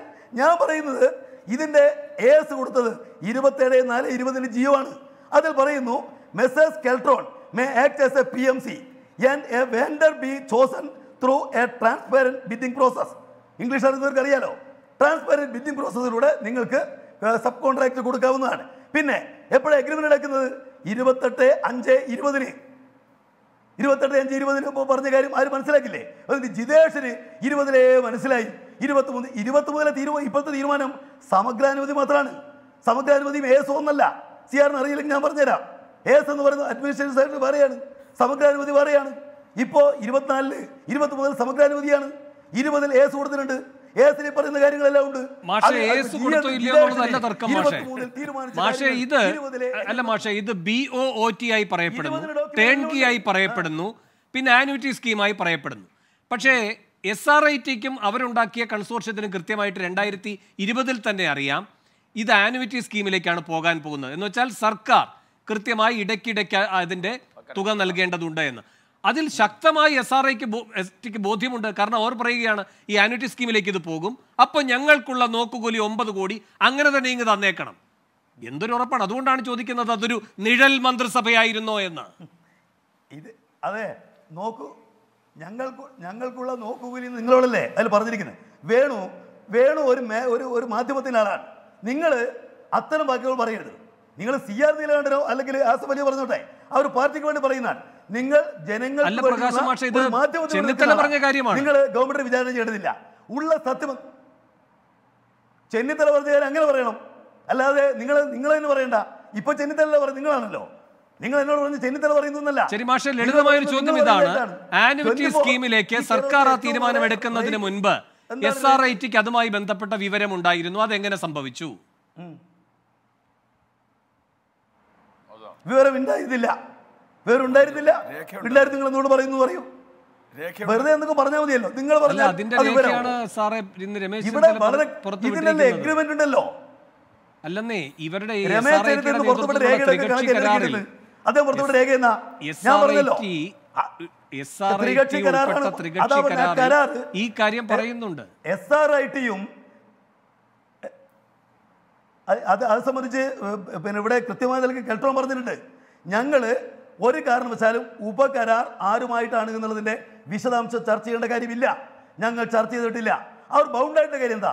ഉപകരാർ ആരുമായിട്ടാണ് അല്ല ഉപകരാറിന്റെ വിശദാംശങ്ങളല്ല ഇവിടെ ചോദിക്കുന്നത്. അവർ ത്രികക്ഷികൾ ചേർന്നിരുന്ന് ആലോചിച്ച കാര്യം സർക്കാരിന്റെ ചിന്തയിലില്ലാത്ത കാര്യം. പിന്നീട് സർക്കാരിന്റെ. ഉത്തരവായി വന്നു. അതിലെ വ്യക്തതയാണ് മാഷോട് ചോദിച്ചുകൊണ്ടിരിക്കുന്നത്. ഞാൻ ഞാൻ ചോദിക്കട്ടെ. ഇവിടെ കെൽട്രോണും എസ് ആർ ഐ ടിയുമായിട്ടുള്ള കരാറ് എസ് ആർ ഐ ടി നടപ്പിലാക്കുന്നുണ്ടോ? അതാണല്ലോ കെൽട്രോൺ നോക്കേണ്ടത്. ആ പദ്ധതി പൂർണമായും നടപ്പിലാക്കപ്പെട്ടിട്ടുണ്ട്. സർക്കാർ എടുക്കാത്തൊരു നയപരമായ തീരുമാനം. മുൻകൂട്ടി തന്നെ എടുക്കും അങ്ങനെ വരും. ആ വഴിക്ക് ഞങ്ങൾക്ക് കിട്ടേണ്ട പണം ഇങ്ങനെ തന്നെ കിട്ടണം എന്ന് ഒരു കമ്പനി പറയുകയാണ്. പിന്നീടാണ് അതിലൊരു നയപരമായ തീരുമാനം മന്ത്രിസഭ എടുക്കുന്നത്. ഇതിലെ ഒരു അത്ഭുതമാണ് ചോദിക്കുന്നത്. ഒരത്ഭുതമില്ല അതിനകത്തുനിന്ന് കാരണം ഇത് സംബന്ധിക്കുന്ന ആദ്യത്തെ രേഖ തയ്യാറാക്കുന്നത് കെൽട്രോണാണ്. കെൽട്രോൺ തയ്യാറാക്കിയിട്ടുള്ളത് ഇരുന്നൂറ്റി മുപ്പത്തഞ്ച് പോയിന്റ് എട്ട് കോടിയുടെ പ്രോജക്ട് റിപ്പോർട്ടാണ് ആ പ്രോജക്ട് റിപ്പോർട്ട് ഗതാഗത വകുപ്പിന്റെ പ്രിൻസിപ്പൽ സെക്രട്ടറി ചെയർമാനായിട്ടുള്ള ഒരു ടെക്നിക്കൽ കമ്മിറ്റി പരിശോധിക്കുന്നു. അവരോട് പൈസ കുറയ്ക്കാൻ വേണ്ടി ആവശ്യപ്പെടുന്നു. ഇരുന്നൂറ്റി മുപ്പത്തി രണ്ട് പോയിന്റ് രണ്ട് കോടിയുടെ പ്രോജക്റ്റ് അവർ അംഗീകരിക്കുന്നു. ആ പ്രൊജക്റ്റിനകത്തുള്ള ഡീറ്റെയിൽഡ് കാര്യങ്ങളെല്ലാം അതിനകത്തുണ്ട്. പണം എങ്ങനെ കൊടുക്കുമെന്നുള്ളതിന് വ്യവസ്ഥയുണ്ട്. അത് അതനുസരിച്ചിട്ട് ആ പണം എങ്ങനെ കൊടുക്കുമെന്ന വ്യവസ്ഥ എന്താണ്? ആ പണം എങ്ങനെ കൊടുക്കുമെന്നതായിരുന്നു വ്യവസ്ഥ. പറഞ്ഞാൽ മതി. ഒരു ചോദ്യം ചോദിക്കാമോ? അവർ ഇപ്പോഴുള്ള ഓരോ പ്രാവശ്യം ഓരോ വർഷവും കൊടുക്കുന്നത് അങ്ങനെ ഇല്ല അങ്ങനെ ഇല്ല അങ്ങനെ ഇല്ല കൊടുക്കുന്നത് അത് പറയല്ലേ. എന്ന് പറഞ്ഞാൽ അതിന്റെ അർത്ഥം എന്താ? ബി ഒ ടി എന്ന് പറയുന്നത് നിങ്ങളാണല്ലോ അല്ല രേഖകളിലുണ്ടല്ലോ ബിൽഡ് ഓപ്പറേറ്റ് പിന്നെ ട്രാൻസ്ഫർ എന്ന് പറഞ്ഞ സർക്കാർ ഒരു പൈസയും കൊടുക്കണ്ട മാഷേ. സർക്കാർ ഒരു പൈസയും കൊടുക്കില്ല എന്ന് തന്നെയാണ് നാനൂറ്റി ഇരുപത്തിനാല്? കോടി രൂപ പിരിക്കും. അതിൽ അല്ല നാനൂറ്റി കൊടുക്കും. എവിടെ നാനൂറ്റി എവിടെ കൊടുക്കും. അത് പറഞ്ഞു നിങ്ങൾക്ക് തോന്നിയ പറയുന്നത്. എവിടെയാണ്? പറഞ്ഞിരിക്കുന്നത്. അല്ല ബി ഒ ടി ആണോ പ്രോജക്റ്റ് ആണോ? മാർച്ച് അത് മാത്രം പറഞ്ഞാൽ മതി. കെൽട്രോണും എസ് ആർ ഐ ടി തമ്മിലുള്ള എഗ്രിമെന്റ് എന്താ? ബി ഒ ടി ആണ്. അല്ല അല്ല അല്ല. ആണ് കെൽട്രോൺ പക്ഷേ എസ് ആർ ഐ അല്ല. ഒരു സെക്കൻഡ് അല്ലെങ്കിൽ അല്ലെങ്കിൽ എന്താണ് പിന്നെ മാഷെ? ഒരു സെക്കൻഡ് അതെങ്ങനെ പറ്റും? Keltron B O B O T ആണ്. കെൽട്രോൺ കൊടുക്കുന്ന പ്രപ്പോസലും ബി ഒ ടി ആണ്. കെൽട്രോൺ കൊടുക്കുന്ന പ്രപ്പോസൽ നാനൂറ്റി ഇരുപത്തിനാല് കോടി രൂപ പിരിക്കും. അഞ്ച് ഇത്ര വർഷം കൊണ്ട്. അതുകൊണ്ട് ഇതിന്റെ പേയ്മെന്റ് തരും. ടോൾ വ്യവസ്ഥ നമ്മുടെ ദേശീയപാതയിലെ ടോളിന്റെ വ്യവസ്ഥയാണ്. ശരിയാണ് ശരിയാണ് ശരിയാണ്. അല്ലെങ്കിൽ സി പി എമ്മിന്റെ കേന്ദ്രങ്ങൾ ഇത് തിരുത്തട്ടെ സർക്കാരിന്റെ കേന്ദ്രങ്ങളെ കേന്ദ്രങ്ങൾ തിരുത്തട്ടെ ഞാൻ വേഗം ആദ്യ ഇടവേളയ്ക്ക് വന്നു. സിയാർ ഒന്ന് സഹകരിക്കണം. ഞാൻ ആ വേഗം ആദ്യ ഇടവേളയ്ക്ക് വന്നു. അതിനിടയിൽ പ്രകാശ് മാഷ്ക്ക് വിവരങ്ങളും ശേഖരിക്കാമല്ലോ. ഇടവേളയ്ക്ക് ശേഷം മറ്റതിഥികളിലേക്ക് രണ്ടാം ലെവലിന് വന്ന എൻകൗണ്ടർ ചർച്ച തുടരുകയാണ്. Advocate T S F Ali ഇവിടെ അങ്ങ് പറഞ്ഞ കണക്കുകൾക്ക് ബദൽ കണക്കുകൾ പ്രകാശമാഷം നിരത്തുന്നുണ്ടായിരുന്നു. പിന്നെ ഈ ബി ഒ ടിയുടെ കാര്യത്തിലുള്ള തർക്കമാണ് ഏറ്റവും അവസാന ഘട്ടത്തിൽ ഈ ചർച്ചയിൽ ഉണ്ടായിരുന്നത്. രണ്ടിനുമുള്ള അങ്ങയുടെ മറുപടി. ഞാനൊരൊറ്റ കാര്യം ചോദിച്ചോട്ടെ. ഈ ബി ഒ ടി അന്യൂറ്റി ആക്കി മാറ്റുന്നത് ധനവകുപ്പ് പറഞ്ഞിട്ടില്ല എന്നുള്ളതൊരു യാഥാർത്ഥ്യമാണ്. മന്ത്രിസഭ ഡോക്യുമെന്റ്സ് പരിശോധിച്ചാൽ മനസ്സിലാവും. അങ്ങനെ ഒരു ഒരു രേഖയും ധനവകുപ്പിന് യാതൊരു വിവരവുമില്ല എന്ന് ഇതിനകം പുറത്തു വന്ന വിവരങ്ങളും മന്ത്രിസഭാ രേഖകളും പരിശോധിച്ചാൽ മനസ്സിലാവും. പിന്നെ എങ്ങനെയാണ് ഈ- ഈ ഉപകരാറ് നേരത്തെ മാഷ് പറയാനുണ്ടല്ലോ ട്രാൻസ്പോർട്ട് കമ്മീഷന് സമർപ്പിച്ച റിക്വസ്റ്റ് ഫോർ പ്രപ്പോസൽ. അത് അംഗീകരിച്ച പുരങ്കരാർ ഉദ്യോഗസ്ഥന്മാരെ നിയമിച്ച് കൺട്രോൾ റൂം തുറക്കാനാണ്. അതിനും ഒരു താല്പര്യപത്രം ക്ഷണിക്കണം. ദാറ്റ് ഇസ് നോട്ട് ഡൺ ഇതൊന്നും പാലിക്കാതെ കെൽട്രോൺ ഒരു കൺട്രോൾ റൂം അടക്കമുള്ള സ്ഥാപിക്കാനുള്ള പദ്ധതി രേഖ സർക്കാരിന് സമർപ്പിക്കുകയാണ് ചെയ്തത്. ഇപ്പൊ കെൽട്രോണിന്റെ സ്റ്റാറ്റസ് എന്താണ്? മാഷ് നേരത്തെ പറഞ്ഞല്ലോ കെൽട്രോണിന്റെ സ്റ്റാറ്റസ് എന്താണ്? ഒരു പ്രൊജക്ട് മോണിറ്ററി സെല്ലായി വാങ്ങേണ്ട കെൽട്രോണ് ഇപ്പൊ അവരെ പൊസിഷൻ എന്താണ്? ഫെസിലിറ്റി മാനേജ്മെന്റ് സർവീസ് ഏജൻസി മാത്രമാണ്. അങ്ങനെയാണെങ്കിൽ കെൽട്രോൺ എന്തിനാണ് ഇതിൽ പ്ലാൻ ചെയ്യേണ്ട ആവശ്യം? സർക്കാരിന് തന്നെ ടെൻഡർ വിളിച്ച് ഈ ഈ എസ് ആർ ഐ ടിയോ ആരെ വേണമെങ്കിലും കൊടുക്കാലോ? ഈ ഈ നടുക്ക് കെൽട്രോണിന് ഇന്ന് മാത്രവുമല്ല അസഫ് അലി സാർ ഞാനൊരു ചെറിയ കാര്യം പറയട്ടെ ഇടപെടുന്നതിന് എനിക്ക് തുടരാം. ഈ ആനുവിറ്റി സ്കീമിനേക്കുള്ള എതിർപ്പ് മാത്രമല്ല ധനവകുപ്പ് പറഞ്ഞത്. പി എം സി ആണ് കെൽട്രോൺ. അപ്പൊ അതുകൊണ്ട് നിങ്ങൾ ഒരിക്കലും ഈ വാങ്ങൽ പരിപാടികളിലേക്ക് പോകരുത്. അതുകൊണ്ട് ഗതാഗത വകുപ്പ് അത് ചെയ്യട്ടെ എന്ന നിർദ്ദേശവും വന്നിരുന്നു. ഇപ്പൊ എനിക്കൊന്നും അറിയില്ല. എല്ലാം കെൽട്രോണിനോട് ചോദിക്കുക കെൽട്രോണിനോട് ചോദിക്കുക എന്ന് പറഞ്ഞൊരു ഗതാഗത മന്ത്രിയാണല്ലോ ഉള്ളത്. അത് അത് അതാണ്. അത് അത് മാത്രമല്ല ഈ ട്രാൻസ്പോർട്ട് കമ്മീഷണറുമായിട്ട് ഒപ്പിട്ടിരിക്കുന്ന കരാറിന്റെ നഗ്നമായ ലംഘനമാണ്. ആ കമ്മീഷണറുമായിട്ട് ഒപ്പിട്ടിരിക്കുന്ന കരാർ എന്ന് വായിച്ചു നോക്കൂ. മാഷെടുത്ത കരാറുണ്ടെങ്കിൽ ആ കരാറിന്റെ നഗ്നമായ ലംഘനമാണ് ഇപ്പോൾ കെൽട്രോൺ ചെയ്തിരിക്കുന്നത്. കെൽട്രോൺ ഇതിന് ഉപകരാർ കൊടുക്കുകയും നേരത്തെ മുൻ പ്രതിപക്ഷ നേതാവ് ആളെ പേര് പറഞ്ഞല്ലോ. അവരെ കുറിച്ച് അഴിമതി ആരോപണവും ഈ ഈ ബ്ലാക്ക് ഡീലിംഗ്സിൽ റോളുമാണ് പറയുന്നത്. അങ്ങനെ അയാൾ ഒന്നും ബാധിക്കില്ലെങ്കിൽ അയാൾ അതിന് നടപടിയെടുക്കട്ടെ അദ്ദേഹം അനങ്ങാതിരിക്കുകയല്ലേ ചെയ്യുന്നത്? ഈ കറുത്ത ദിനങ്ങളിലെല്ലാം ഈ ആളുകൾക്കെല്ലാം മന്ത്രിസഭയിൽ അപ്രമാദിത്യം ഉണ്ടായിരുന്നു നാളെ മന്ത്രിസഭ എടുക്കുന്ന തീരുമാനങ്ങളെ കുറിച്ച് ഇവർക്ക് കൃത്യമായ വിവരമുണ്ട്. ഞാൻ ചോദിക്കട്ടെ ഇപ്പോ ചൗദാല പത്ത് കൊല്ലം ജയിലിൽ കിടന്നു ലല്ലു പ്രസാദ് യാദവ് ജയിലിൽ കിടക്കുന്നു അവരൊന്നും പണം എടുത്തുകൊണ്ട് പോയതല്ല ഇതുപോലുള്ള ഷാബി ഡീലിങ്സ് ആണ് കറപ്ഷൻ ഈ ഷാബി ഡീലിങ്സ് മന്ത്രിസഭ അറിയാതെ നടക്കുമോ? മന്ത്രി അറിയാതെ നടക്കുമോ? കെൽട്രോണിന്റെ കീഴിലുള്ള മന്ത്രിസഭയല്ല. മന്ത്രിസഭയുടെ കീഴിലുള്ള കെൽട്രോൺ ആണ് അപ്പൊ കെൽട്രോൺ ഈ ചെയ്തിരിക്കുന്ന സർക്കാരിന്റെ താല്പര്യത്തെ നഗ്നമായി ലംഘിച്ചുകൊണ്ട് ഒരു ഉപകരാറ് കൊടുക്കുക അവർ വീണ്ടും ഉപകരാറ് കൊടുക്കുക അതിലൊരു ഡിഫറൻസ് നേരത്തെ നീലകണ്ഠ സാർ പറഞ്ഞതുപോലെ അതിന്റെ ബെനിഫിഷ്യറി ആരാണ്? ഈ ബെനിഫിഷ്യറി കൈപ്പറ്റുന്ന പണം സർക്കാരിന്റെ പണമാണ് സാധാരണക്കാരൻ നികുതി പണമാണ്. ഈ പണം സർക്കാരിന് നഷ്ടപ്പെടുന്നത് അതാണ് അൺഡു എൻറിച്ച്മെന്റ് അതാണ് അഴിമതി. ഈ അഴിമതി നിരോധന നിയമപ്രകാരം രൂപ കട്ടുകൊണ്ടുപോകുന്നത് മാത്രമല്ല രൂപ കട്ടുകൊണ്ടുപോകുന്നതിന് നടപടി വേറെയുണ്ട് ഐ പി സി പ്രകാരം. ഇവിടെ ഓരോ ഫയൽ നീങ്ങുമ്പോഴും കോടിക്കണക്കിന് ലക്ഷക്കണക്കിന് കോടിക്കണക്കിന് രൂപയുടെ ബെനിഫിഷ്യറി ആയിട്ട് ഇടത്തട്ടുകാർ കൊണ്ടുപോകുന്നു. അത് സർക്കാരിന്റെ പണമാണ്. അങ്ങനെയാ അതുകൊണ്ടാണ് കെൽട്രോണിന്റെ ഈ shabby dealings S R I ടിയുടെ ഇൻവോൾവ്മെന്റ് അവർ വീണ്ടും രണ്ട് കമ്പനിക്ക് കൊടുക്കുന്നു. ആ കമ്പനി ഡീൽ ചെയ്യുമ്പോൾ അവർക്കുണ്ടാവുന്ന നേട്ടങ്ങൾ. അൾട്ടിമേറ്റ്ലി ഇതിന്റെ ലൂസർ സർക്കാരാണ്. ശരി, ശരി. സ്കീമിൽ ആരംഭിച്ച ഒരു പദ്ധതി സർക്കാരിന് ഒന്നുമില്ലാതെ ശരി ശരി സർ ശരി സർ പ്രകാശൻ മാഷെ മറുപടി.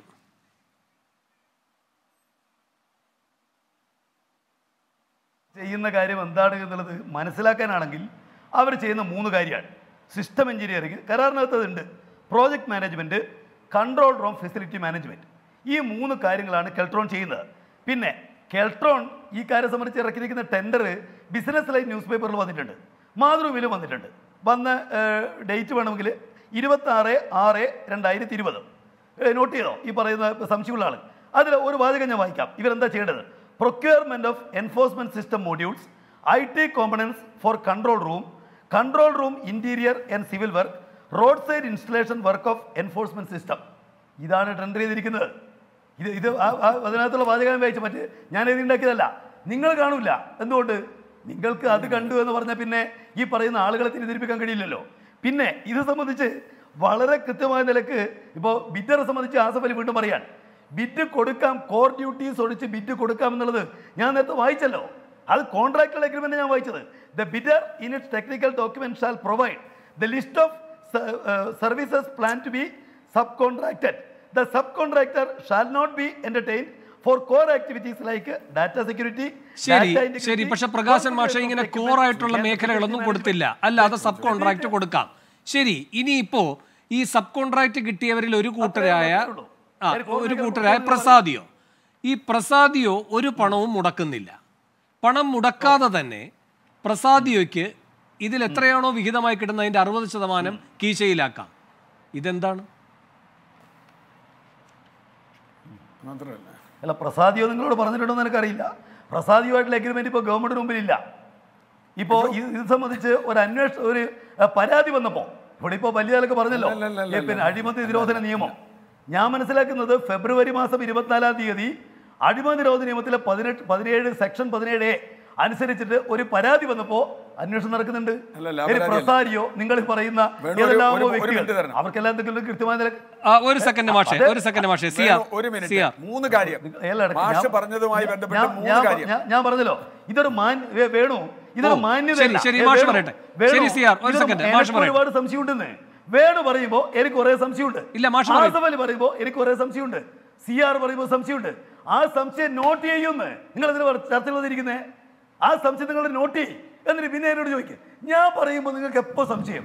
നിങ്ങൾ മൂന്നാൾ പറയുമ്പോൾ ഞാൻ സംശയം ഉന്നയിക്കുന്നില്ല ശരി, മാഷ പറഞ്ഞു പറഞ്ഞോളൂ. മാന്യമല്ല എന്നുള്ളതുകൊണ്ടാണ് ഞാൻ നിങ്ങൾ പറഞ്ഞ ചോദ്യത്തിന് മറുപടി പറയാണ് നിങ്ങൾ കൺഫ്യൂസ് ചെയ്യാൻ വീണ്ടും പിന്നെ നിങ്ങൾ ചോദിച്ചുകൊണ്ടിരിക്കുകയാണ് ഞാൻ ഇവിടെ പറയുന്നത് ഇക്കാര്യത്തിൽ സംശയമുണ്ടാക്കാൻ യാതൊരു കാര്യവുമില്ല. കൃത്യമായ നിലയ്ക്ക് ആദ്യം മുതലേ ചെലവ് പറഞ്ഞിട്ടുണ്ട്. ചെലവിനെ സംബന്ധിച്ചൊന്നും ഒരു വർധനം ഉണ്ടായിട്ടില്ല. ആ ചെലവനുസരിച്ച് കാര്യങ്ങൾ നിർവഹിക്കപ്പെട്ടിട്ടുണ്ട്. ഏത് കമ്പനിയുടെ പിന്നെ ക്യാമറ വേണം. ഏത് സിസ്റ്റമാണ് വേണ്ടത്? കൺട്രോൾ റൂമിൽ വേണ്ടിവരുന്ന ഓരോ സാധനത്തിന്റെയും അതിന്റെ കമ്പനി ഏതാണ്? ഏത് സ്പെസിഫിക്കേഷനാണ് എല്ലാ ഡീറ്റെയിൽസും ഇതിനകത്തുണ്ട്. ഗവൺമെന്റ് കൺട്രോൾ ബന്ധപ്പെട്ട കരാറിലുണ്ട്. അതിൽ നിന്ന് വ്യത്യസ്തമായ എന്തെങ്കിലും സ്ഥാപിച്ചു? ആക്ഷേപം നിങ്ങൾ പറയൂ. ഇപ്പോൾ പ്രവർത്തിക്കുന്നുണ്ടല്ലോ. അത് നിങ്ങൾ കാണേണ്ടത് ഇത് ഇന്ത്യ രാജ്യത്തിന്റെ ചരിത്രത്തിൽ ആദ്യമായിട്ട് ഒരു ഓട്ടോമേറ്റഡ് സിസ്റ്റം ഈ മേഖല വരികയാണ്. ഇന്ത്യയിൽ സംസ്ഥാനത്താകെ ഇങ്ങനെ വന്നിട്ടുള്ള ഒരു സ്റ്റേറ്റും ഇല്ല. അത് കേരളമാകുമ്പോൾ യു ഡി എഫിന് പൊള്ളും ബി ജെ പിക്ക് പൊള്ളും വേണുവിനെ പോലുള്ള മാധ്യമപ്രവർത്തകർക്ക് പൊള്ളും.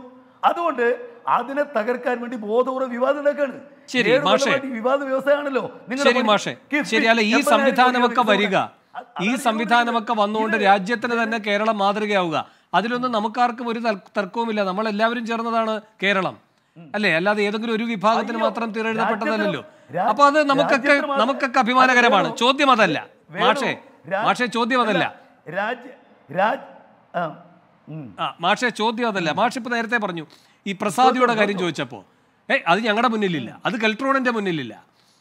കെൽട്രോണിന്റെ മുന്നിലില്ലാത്തത് യാദൃച്ഛികമല്ല. ഇപ്പൊ അങ്ങ് തന്നെ ബിസിനസ് സ്റ്റാൻഡേർഡും പിന്നെ മാതൃഭൂമിയുമാണല്ലോ ഉദ്ധരിച്ചത്. അപ്പൊ അങ്ങ് അതിലെ വാർത്തകൾ വരണം. അല്ലെങ്കിൽ അതിൽ ഇത്തരം കാര്യങ്ങൾ കൊടുത്താൽ അതിലൊരു വിശ്വാസ്യതയും കൂടെയാണ് തോന്നുന്നത്. അതേ പത്രത്തിൽ ഇന്നത്തെ ഒരു വാർത്തയാണ്. സി എ ജി കൈയോടെ പിടിച്ച കലക്ടറുണ്ട് ക്രമക്കെട്ടിൽ. ഞാൻ ഒരുപാട് എണ്ണത്തിലേക്ക് പോകുന്നില്ല ഒരെണ്ണം മാത്രം പറയാം. പോലീസിന് ടാബ്ലറ്റ് വാങ്ങാൻ വർക്ക് ഓർഡർ ലഭിക്കുന്നതിന് മുൻപേ കെൽട്രോൺ പാനസോണിക് കമ്പനിയുമായി ധാരണയുണ്ടാക്കി. യഥാർത്ഥ വിലയുടെ കൂടെ എത്ര ശതമാനം കൂട്ടണമെന്ന് കെൽട്രോൺ പാനാസോണിക്കിനെ അറിയിച്ചത് ഒറ്റ സെക്കൻഡ് സാർ. അറിയിച്ചതടക്കം സി എ ജി പിടികൂടി. അപ്പൊ ഇതാണ് കെൽട്രോണിന്റെ പണി. ഇങ്ങനെയാണ് ഒരു സെക്കൻഡ് ഒരു സെക്കൻഡ്. ഇങ്ങനെയാണ് പ്രസാദിയോയ്ക്ക് കിട്ടുന്നതിന്റെ അറുപത് ശതമാനം അടിച്ചുകൊണ്ട് പോകാൻ കഴിയുന്നത്. പ്രസാദ് യോഗ്യ കൂട്ടുകക്ഷിയായി കിട്ടുന്നത് കെൽട്രോണിനെ. വേണു മാധ്യമങ്ങൾ പരസ്യം കൊടുക്കുന്നതും വാർത്ത കൊടുക്കുന്നതും എങ്ങനെയാണെന്ന് അറിയാത്ത ആളല്ല വേണു. നിങ്ങളുടെ പത്രത്തിന്റെ നിലപാടിന് നൂറ് ശതമാനം വിരുദ്ധമായിട്ട് കാര്യവും മാധ്യമങ്ങൾ വാർത്ത പരസ്യം കൊടുക്കുമല്ലോ. പരസ്യം ബിസിനസ് മാനേജ്മെന്റിലും അതുപോലെ മാതൃഭൂമിയിലും കൊടുത്തു എന്നുള്ളതുകൊണ്ട് അവിടെ വരുന്ന വാർത്തകളെല്ലാം ശരിയാണ് എന്ന്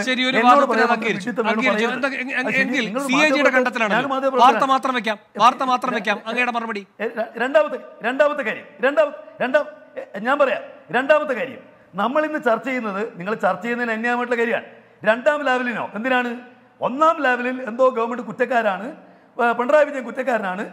രണ്ടാം ലെവൽ അത് രമേശ് ചരിത്രത്തിലേക്ക് നിങ്ങൾക്ക് മനസ്സിലാവും. രാഷ്ട്രീയ രാഷ്ട്രീയത്തിലറിയാൻ നിങ്ങൾ ഒരു മാധ്യമം ഇത് രണ്ടാം ലെവലിൽ നിന്ന് ചോദിക്കുമ്പോൾ സഹ എം വി ഗോവിന്ദമാർ ചോദിച്ചൊരു ചോദ്യമുണ്ട് ഒന്നാം ലെവലിൽ എന്താണ്ടായത് ഒന്നാം ലെവലിൽ പിണറായി വിജയനെ ശിക്ഷിച്ചോ ആ കേസ് എടുത്ത് കളഞ്ഞില്ലേ സുപ്രീം കോടതി എന്നിട്ട് നിങ്ങൾ ചോദിക്കുന്നു രണ്ടാം ലെവലിൽ ഒരു? ചെറിയ വ്യത്യാസമുണ്ട് ഒന്നാം ലെവലിൽ എന്തോ ചെറിയ-. വ്യത്യാസമുണ്ട് യു ഡി എഫ് രണ്ടാം ലാവലിൻ എന്ന് പറയുന്നു മാധ്യമങ്ങൾ രണ്ടാം. ലാവലിനോ എന്ന് ചോദിച്ച് തുറന്ന ചർച്ചകൾ അവസരമുണ്ടാക്കുന്നു ഞാൻ വേഗം ഒരു രണ്ടാമത്തെ ഇടവേളയിലേക്ക് പോവുകയാണ് ഇടവേളയ്ക്ക് ശേഷം മറ്റു അതിഥികളിലേക്ക് വരും രണ്ടാം ലെവലിനോ എന്ന എൻകൗണ്ടർ ചർച്ച തുടരുകയാണ്. ശ്രീ സി ആർ നീലകണ്ഠൻ ഇവിടെ ഈ ജിതേഷിന്റെ കാര്യം വന്നതുപോലെ തന്നെ ചെന്നിത്തല പറഞ്ഞ ഒരു കാര്യമാണ്. ഈ രാംജത്ത്. രാംജത്ത് പ്രസാദിയോടെ ഡയറക്ടറായിട്ടിരിക്കുന്നു. രാംജത്ത് ഇതിലൊരു പ്രധാനപ്പെട്ട റോൾ വഹിക്കുന്നു. രാംജത്ത് കെ ടി സിയുടെ ഒരു സെയിൽസ് ഉദ്യോഗസ്ഥനായിരുന്നു. പിന്നീടാണ് ഈ പ്രസാദിയോ തുടങ്ങുന്നതെന്ന് അദ്ദേഹം പറയുന്നു. ഇപ്പോൾ രാംജത്ത് മുഖ്യമന്ത്രിയുമായി ബന്ധമുണ്ടെന്ന് ചെന്നിത്തല പറയുന്നു. അത് ക്ലിഫ് ഹൗസിലേക്ക് പോയുള്ള കൂടിക്കാഴ്ചകളടക്കമാണ് ചൂണ്ടിക്കാട്ടിക്കൊണ്ടാണ് പറയുന്നത്. ആരാണ് ഈ രാംജത്ത്? എന്താണ് ഈ ക്ലിഫ് ഹൗസിലേക്ക് അദ്ദേഹം പോകേണ്ട സാഹചര്യം? ഇപ്പോൾ രാംജത്തുമായി ബന്ധപ്പെട്ട വിശദാംശങ്ങൾ ലഭ്യമല്ല എന്നും റിപ്പോർട്ടുകൾ വരികയാണ്. അതിനെ കൃത്യമായി ഒരു സൂചനയോടെയാണ് ചെന്നിത്തല പരാമർശിച്ചത് എന്നതും അങ്ങ് ശ്രദ്ധിച്ചിട്ടുണ്ടാകും. ഇത് ആദ്യമായല്ല കേരളത്തിൽ ഒരു കാര്യം വിവാദമാകുമ്പോൾ ആ വെബ്സൈറ്റ് അപ്രത്യക്ഷമാകുന്നത് എന്ന്. അത് ആരിലേക്ക് ചൂണ്ടുന്ന വിരലാണ് എന്ന് വ്യക്തമാണ് ആ വാക്കുകളിൽ.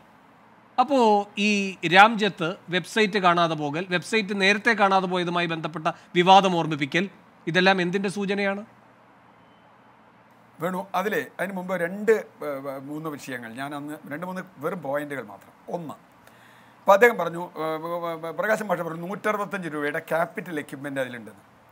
എനിക്കറിയേണ്ടത് ഈ പ്രസൈഡി ഒഴിച്ച് അല്ലെങ്കിൽ എസ് ആർ ഐ ടി കൊടുത്ത കരാർ ഒഴിച്ച് ഒരു രൂപയുടെ ക്യാപിറ്റൽ എക്യുപ്മെന്റ് അതിൽ ആരെങ്കിലും സപ്ലൈ ചെയ്യുന്നുണ്ടോ? ക്യാപിറ്റൽ എക്യുപ്മെന്റ് എന്ന് പറഞ്ഞാൽ സർവീസ് അല്ല. ഒരു രൂപയുടെ കാരണം ഈ ടെൻഡറിലുള്ള മുഴുവൻ സാധനവും നൽകാൻ ക്യാപിറ്റൽ എക്യുപ്മെന്റ് നൽകാൻ ചുമതലപ്പെടുത്തിയത് കരാർ അനുസരിച്ച് കണ്ടിട്ടുണ്ടോ കണ്ടിട്ടുണ്ടോന്നറിയില്ല കരാർ ഞാൻ കണ്ടിട്ടുണ്ട്. ആ കരാർ എസ് ആർ ഐ ടി ഒപ്പിടുന്ന കരാർ എഴുപത്തഞ്ച് തൊട്ട് എൺപത്തി മൂന്ന് കോടി രൂപയുടെ. ക്യാപിറ്റൽ എക്യുപ്മെന്റും അതിന്റെ ഇൻസ്റ്റലേഷൻ അടക്കം. എന്ന് പറഞ്ഞാൽ മാഷ് പറഞ്ഞ നൂറ്ററുപത്തഞ്ച് കോടിയുടെ കൃത്യം പകുതി മാത്രമാണ് ഇതിലാകെ വരുന്ന ക്യാപിറ്റൽ എക്യുപ്മെന്റ് ഒന്ന് അത് രണ്ട്. രണ്ടാമത്തെ വിഷയം. അദ്ദേഹം പറഞ്ഞു എന്റെ ഒറ്റ ചോദ്യമുള്ളൂ. കെൽട്രോണും ഗവൺമെന്റ് ഓഫ് കേരളയും തമ്മിലുള്ള എഗ്രിമെന്റ് ബി ഒ ടി ആണോ ആനുവിറ്റി ആണോ തുടക്കത്തിൽ? അവിടെ നിന്ന് മാത്രം പറഞ്ഞാൽ മതി. അതെപ്പോഴാണ് ആനുവിറ്റി ആയത് എന്ന ചോദ്യത്തിന് മറുപടി വേണം. മൂന്നാമത് അദ്ദേഹം പറഞ്ഞു കരാർ വ്യവസ്ഥയിൽ ഇവർ ഉപകരാർ കൊടുത്തു അങ്ങോട്ട് കൊടുത്തു ഇങ്ങോട്ട് കൊടുത്തു.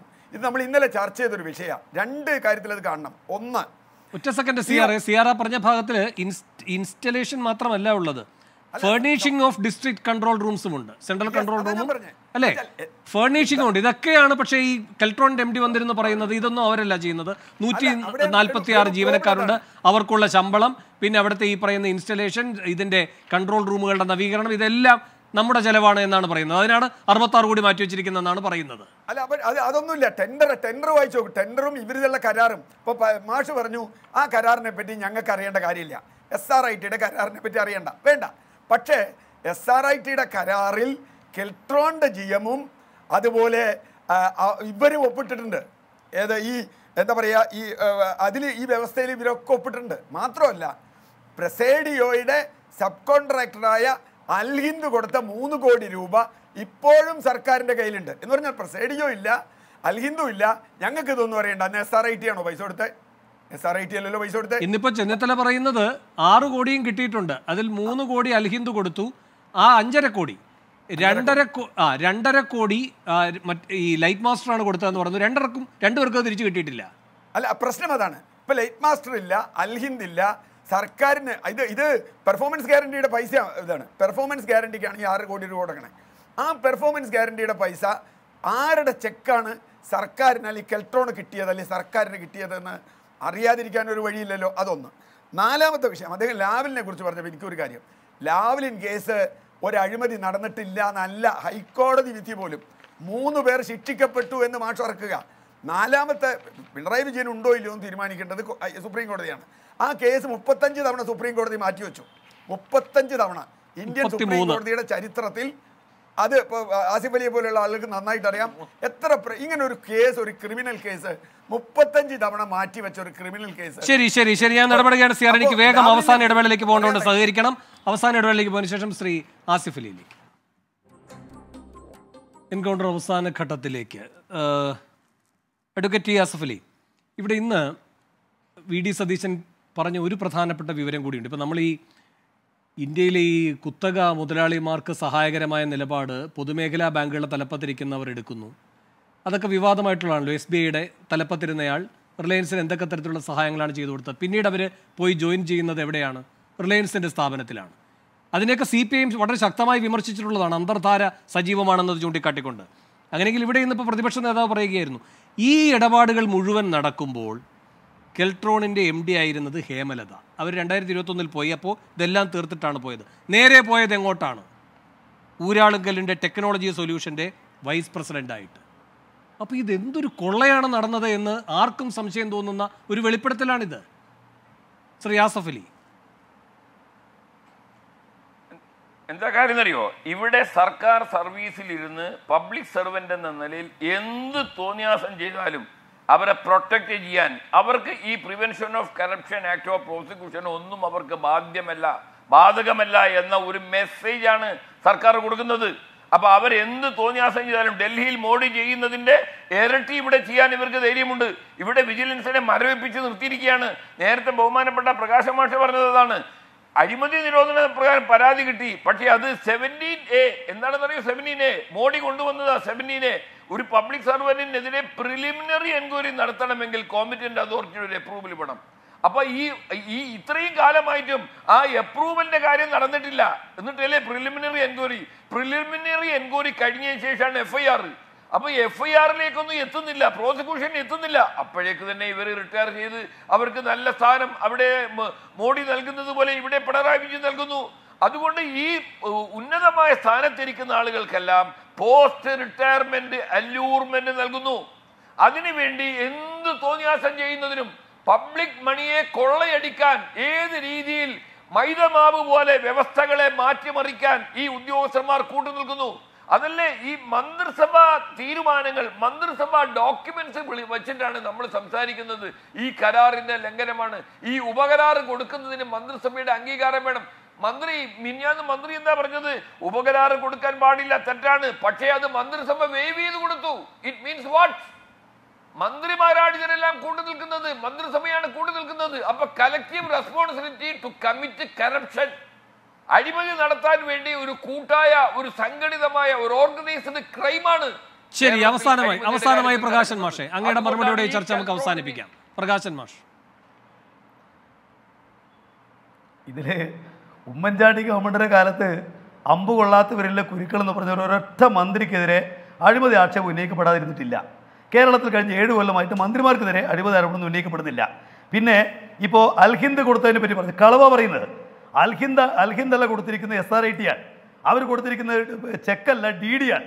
അൽഹിന്ദിന്റെ കൃത്യമായ ലെറ്ററോടെ മൂന്ന് കോടിയുടെ ഡി ഡി ഫിനാൻഷ്യൽ സെക്യൂരിറ്റി എന്നുള്ള കൊടുത്തിട്ടുണ്ട്. കളവാണ് അദ്ദേഹം പറയുന്നുകൊണ്ടിരിക്കുന്ന കാര്യം. പിന്നെ ഫിനാൻഷ്യൽ പാടില്ല. എന്ന് കരാറിൽ എവിടെയും പറയുന്നില്ല? പിന്നെ. കളവാണ് കളവാണ്. സത്യമല്ലാത്തെല്ലാം. പൈസയാണോ? ഫിനാൻഷ്യൽ ഫിനാൻഷ്യൽ ആണല്ലോ. ആ സർക്കാർ ഫിനാൻഷ്യൽ നിങ്ങൾ അംഗീകരിക്കും.